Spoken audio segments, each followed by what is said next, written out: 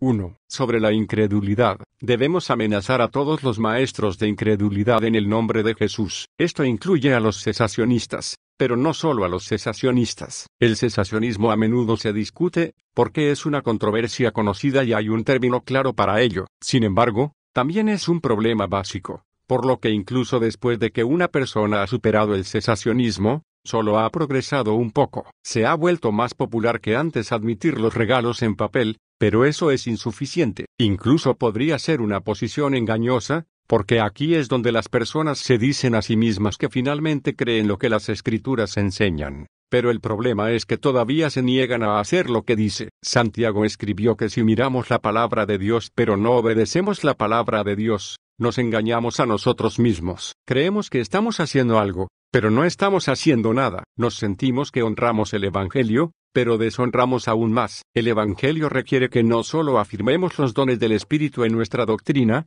sino que los enseñemos y los ejercitemos agresivamente. Incluso después de esto, mucha incredulidad podría permanecer más allá de la categoría de los dones espirituales. Por ejemplo, incluso después de que una persona se haya convencido sobre el don de la curación, e incluso después de haberlo presenciado o incluso realizado la curación con tal regalo, aún podría no estar convencido de que la curación haya asegurado la curación por el momento, y que se promete a la fe, y se recibe aparte de cualquier regalo. Esta verdad es aún más básica para el Evangelio que los dones espirituales, pero es negada aún más que los dones espirituales, e incluso por aquellos que operan en los dones espirituales. Entonces, es evidente que los cristianos no han llegado al punto en que puedan orar con confianza, Danos hoy nuestro pan de cada día, y rechazan rotundamente la enseñanza de Jesús de que si buscamos primero el reino de Dios, entonces todas estas cosas que los paganos buscan se nos sumarán. Recuerde que estas fueron enseñanzas que se dieron incluso antes de que Jesús ascendiera a la cruz y luego al cielo,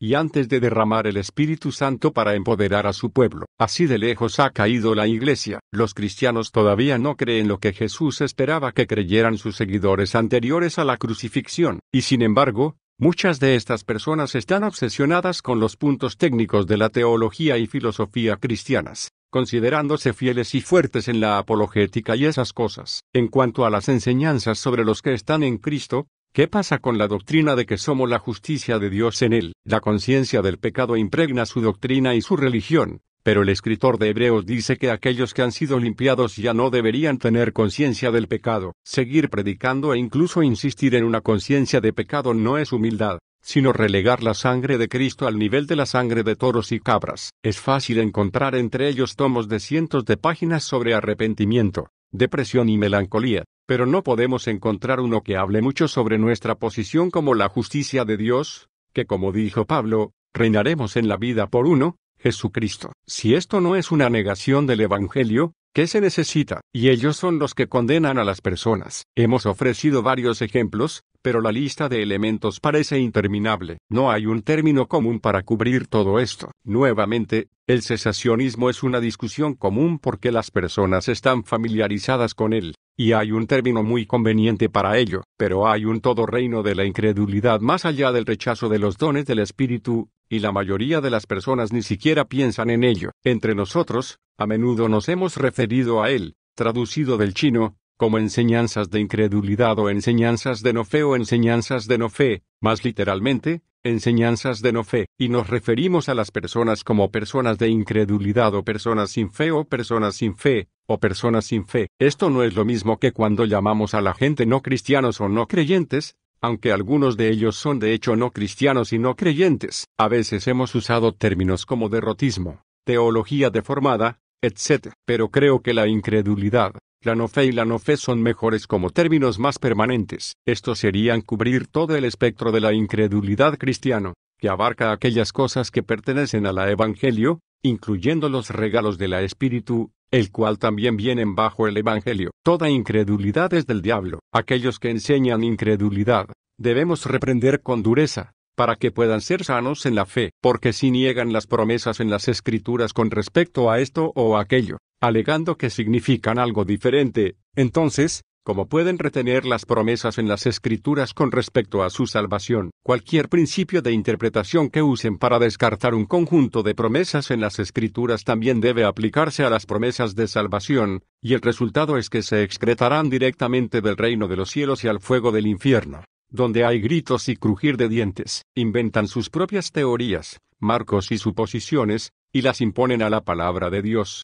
para reemplazar los mandamientos de Dios con las tradiciones de los hombres. Como advirtió el apóstol, si alguien agrega a las palabras de este libro, Dios le agregará las plagas que vendrían, y si alguien quita las palabras de este libro, Dios eliminará su nombre del libro de la vida. Sin embargo, no tienen miedo, no tienen el temor de Dios en ellos, actúan como si no pudieran hacer nada malo. Cuando los exponemos con una representación exacta de su doctrina y revelamos el devastador resultado de su locura, se quejan de que hemos atacado a un hombre de paja. La verdad es que captamos su doctrina mejor que ellos, y también percibimos todos los ángulos y resultados de su doctrina. La denuncia de tergiversación, cuando no se han tergiversado, me indica que han sido expuestos y que están indefensos contra nosotros. Una estrategia de hombre de paja puede ir en ambos sentidos. Es cierto que si atacas a alguien usando un hombre de paja, parecerías injusto y desinformado, pero si te defiendes usando un hombre de paja,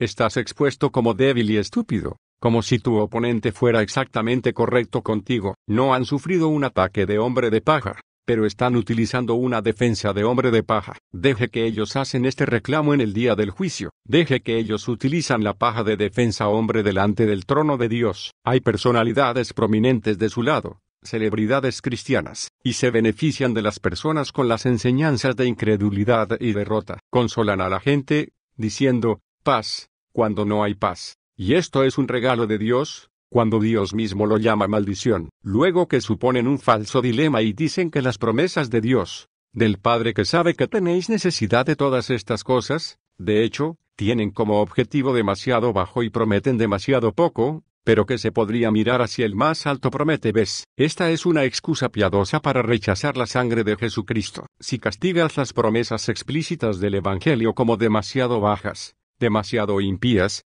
demasiado mundanas, entonces ya no eres un predicador cristiano. Usted está predicando alguna otra evangelio, y alguna otra religión. Mira, usted puede solamente empujar hasta ahora hasta que se demuestre que eres un reprobado. Es Dios el Dios del cielo y no de la tierra, es Él el Dios de las colinas, y no del valle. Este tipo de teología encubierta es inaceptable. El sentido bíblico simple de muchas personas está cortocircuitado por grandes nombres. Pero esto es idolatría. Dios es sin acepción de personas, creciendo para arriba. Si usted estaba a ser un líder para el pueblo de Dios, que va a tener a crecer hacia arriba, conseguir inteligente, y dejar de jugar santurrones religiosos juegos con la palabra de Dios. Si estamos satisfechos con un maestro como este, un maestro sin fe, entonces estamos satisfechos con muy poco, cuando podemos tener mucho más. La iglesia de Jesucristo no está donde debería estar en este momento, pero no está completamente empobrecida. No necesitamos maestros que enseñen el Evangelio con incredulidad.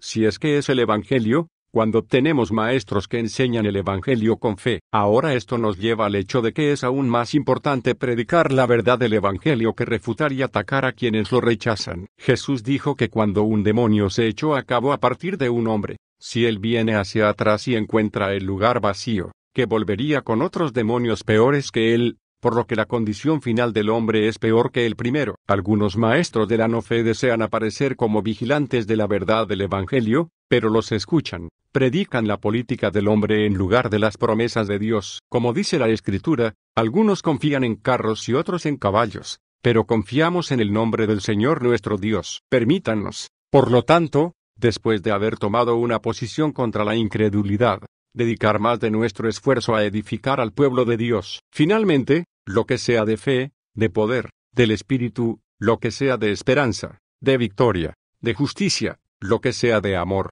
de gozo, de paz, lo que sea de alabanza, de sabiduría, de perdón, lo que sea de acción de gracias, de curación, de abundancia, y lo que sea del Evangelio de Jesucristo, piense en estas cosas, porque si crees y enseñas estas cosas, lo harás bien. Que la fe y el poder del Señor Jesucristo estén con su espíritu.